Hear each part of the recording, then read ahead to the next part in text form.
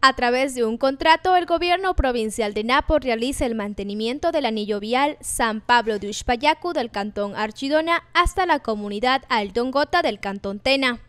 Necesitamos por los estudiantes, nosotros, de que yo tengo mi, hijo también. ¿Y, baja, ¿Y baja caminando él? Sí, caminando, y coge el bus. Para este mantenimiento vial de 8.5 kilómetros, al momento se emplea una motoniveladora para nivelar el terreno y el rodillo que compacta el material de relastrado. La empresa contratada es el consorcio GM.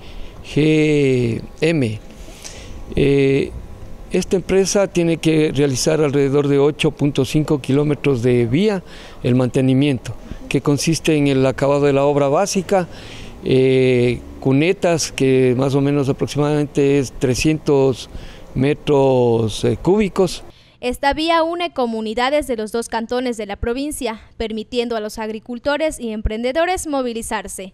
Además, facilita que estudiantes acudan a los distintos establecimientos educativos. María Grefa, Noticias al Día.